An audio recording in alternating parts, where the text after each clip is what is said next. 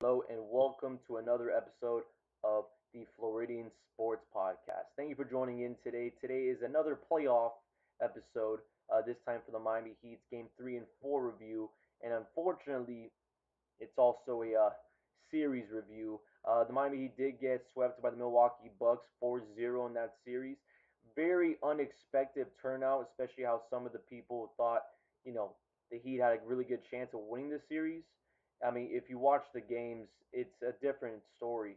I mean, besides game one, it's never really close. Maybe at halfway through game four, but game four itself was kind of, you know, just a tease, really. And, and it's really unfortunate for a lot of these Miami Heat fans that were there for those games. Of course, the Miami Heat played at home for game three and game four. Uh, they came into those two games being down 0-2 in the series and were in real threat you know, the offense wasn't really clicking at all. They looked really much like a chicken with no head. I mean, they did pick up some of the pace offensively in these two games. Of course, game four is kind of the real bright side of this series, besides the game one performance on defense. But I'm going to go into those two games, and then, of course, I'm going to the series and, and maybe even to the to the off season as well. We'll be having episodes in the future for not only the Miami Heat, but also for the Orlando Magic when the draft comes in for the lottery picks and maybe even a draft prospect and what's going on in free agency. And we'll keep you updated for that for the Miami Heat and as well for the Orlando Magic. However, let's go right into these two games, uh, the two home games in Miami, starting with game three. That was at Miami as well. Unfortunately, Miami, they just weren't really winning any of the quarters in this game three offensively. They had a lot of struggles. The mid range game was not going for anybody, especially for Bam Adebayo. He really wasn't finding anything past the free throw line, and he only was successful at anything that he did offensively when Brook Lopez wasn't in the paint. I mean, I even saw him scoring on Antetokounmpo, which makes you think, you know, how does he do that on Antetokounmpo, but he can't get past a Brook Lopez?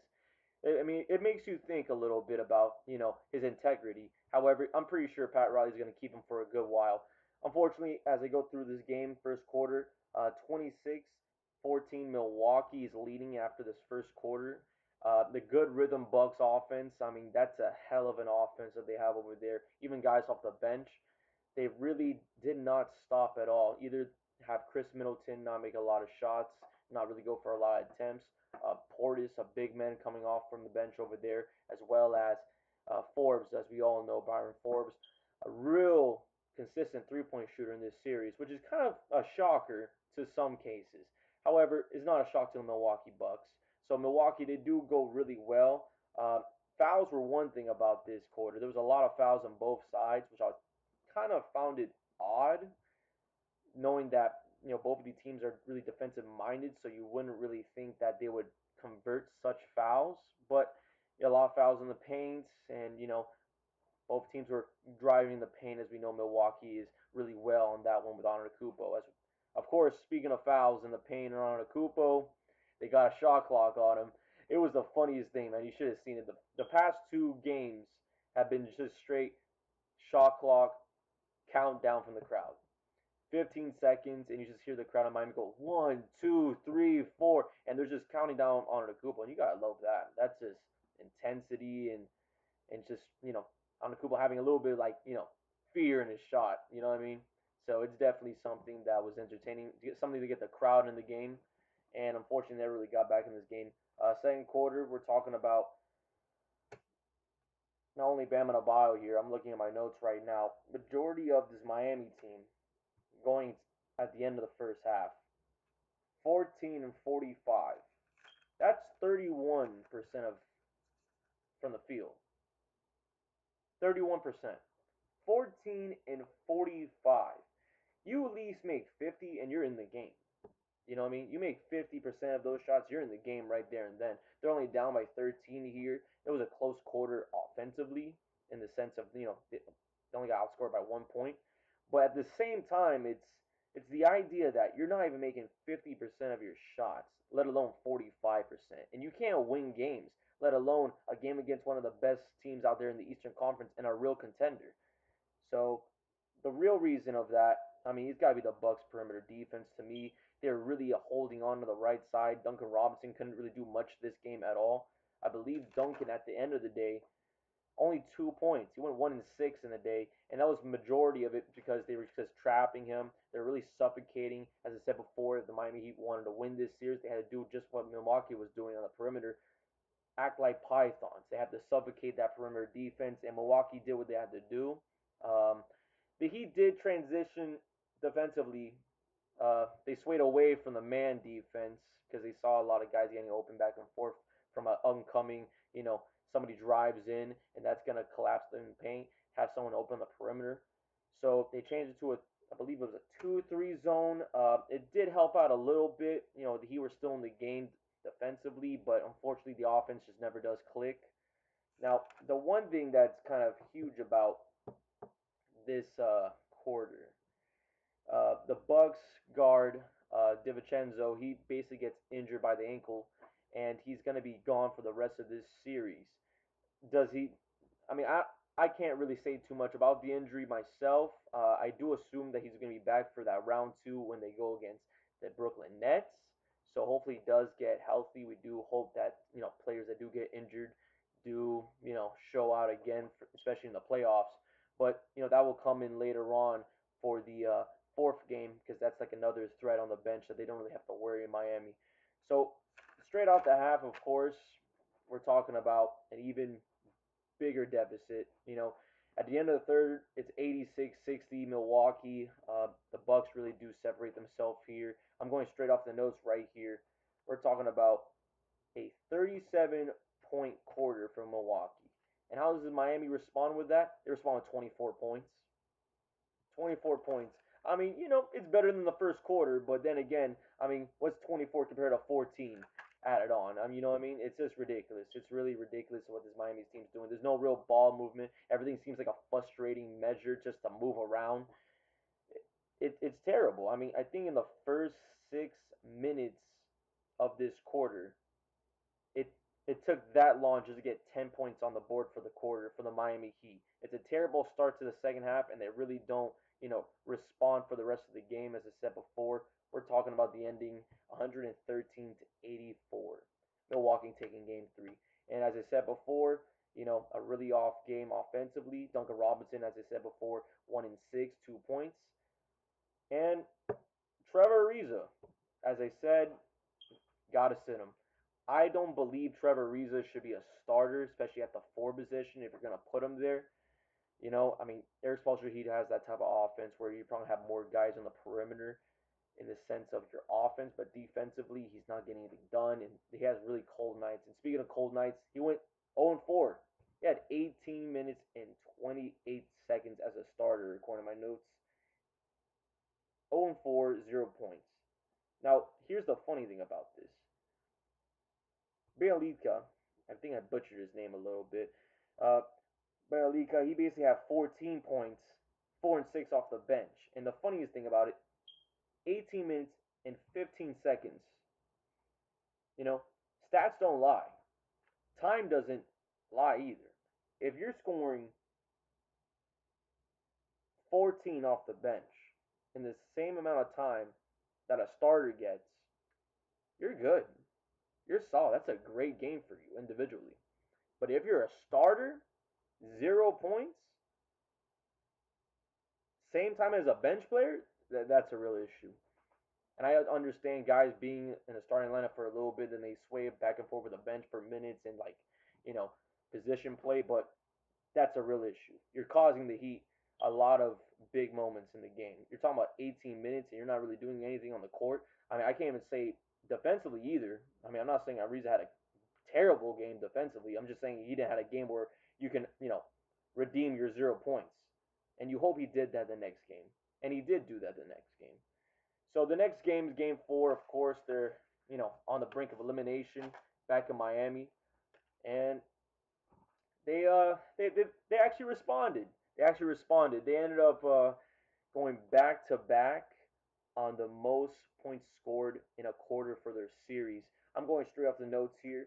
Uh, speaking of which, uh, notes are actually brought to you by uh, Highway Temptation. It's a really good uh, YouTube channel out there to do a lot of good stuff for uh, Final Fantasy. If you're a fan for Final Fantasy or even gaming in general, it's a great group of guys and they're really fun. So I would take advice and probably look into it. And the Highway Temptation on Instagram, and they're actually having a Twitter very soon.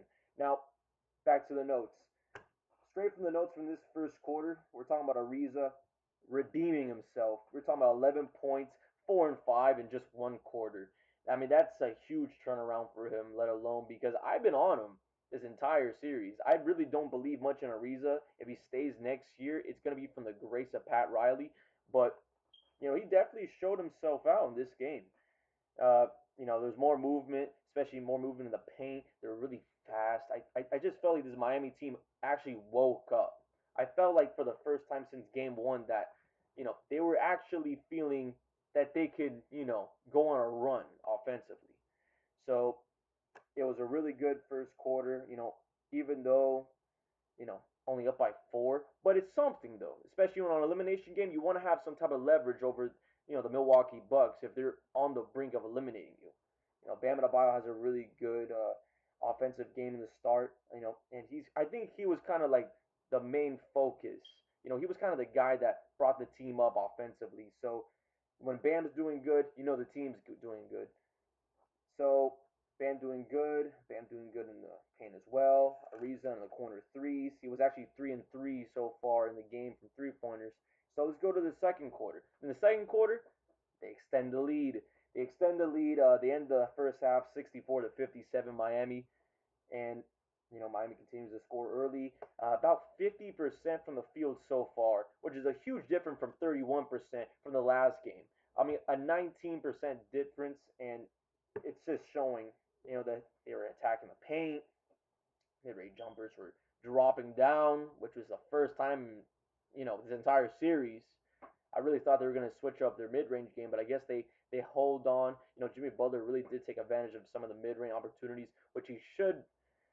And you know, it's the reason why his stat line was so terrible in that second game because he wasn't taking advantage of those mid-range, not knocking them down. He was doing this game. He was doing that real well. So Miami, you know, they go out, uh, as I said before, you know, most points in a quarter in the first with 26. Scratch that. 38 points in a quarter in the second quarter. This is the best quarter Miami has had offensively. I could argue defensively, however, uh, you know, the Bucks kind of like at the last minute they kind of matched up on the offensive movement. Transition backs gets back and forth. It was a really fast game, really entertaining game at the near the ending of that quarter. I believe it was uh, let's see, the last five minutes. The last five minutes. I mean, I think every possession lasted maybe 15 seconds. It was like an old 4 Steve Nash out there, you know. And uh, Mike D'Antoni was on both sides of the court, you know. So it was that type of fast-paced game at the last five minutes. Really entertaining basketball. Uh, and another entertaining thing, you know, I said in the last review, you know, they got to get Brook Lopez in foul trouble. They got to get Brook Lopez in foul trouble. Bam Adebayo needs to get Brook Lopez in foul trouble. Well, not only did Brook get in foul trouble, it was also Giannis Antetokounmpo getting in foul trouble. Both of them had three fouls at this point of the game, and Giannis was one in seven from the field. One in seven from the field at the half. So Miami, you know, best half they had this entire series, and all they have to really do is just play defense and keep matching the offensive intensity that they've been you know, that been producing from these two quarters. And, you know, as the story goes, you know, a sleeping giant wakes up. Milwaukee, insane quarter. They have an insane quarter. We're talking Milwaukee at the end of the third quarter, 91 over the Heat. Heat's 85. So 91 85 after the third quarter. The Miami Heat go up, let's see here, 64 57. They were up by seven. They gave up about was that 19 points. They gave up 19. They got outscored in the third quarter by 19 points in a in an elimination game with the lead. And why is that? Well, I'll tell you why. It was uneasy offense from Miami in the beginning of the game. Tyler Herro got in there and he started shooting threes like, you know, he was bubble He's not in the bubble anymore. I'll tell you that right now. It's it's definitely a huge sophomore slump from this year. Um, maybe he goes back in the third year of his career and he you know regains himself. But this game, I feel like his shots and a lot of Miami just trying to force something that makes sure they keep a lead or at least match up on some of the baskets that Milwaukee was making, it definitely cost the game in the third quarter. I mean, straight from the notes I took down, I saw a lot of the Bucks going to run the push through Miami's exposed paint. You know, Bam Adebayo, he was there, but he wasn't gonna stop on a Antetokounmpo every single time, and Brook Lopez every single time. And they really, you know, even though three fouls each, they really didn't really foul much after that, and were kept in the game a really good fair amount of minutes. Now, you know, the Bucks, they did also get fouled. Um, it was really kind of a disappointing take from these referees. They called a lot of like, you know, problematic fouls, like fouls like you shouldn't even like, you know, see on television. If they show you a replay on TNT and it's like, man, this guy, this guy didn't even touch him. Well, it was that type of fouls that Miami was getting called for. So the Bucks extended their lead from the foul line. They extended from like three point range. They won on, I think, let's see here. They went on one run, ten unanswered points, in the like in about two minutes, right?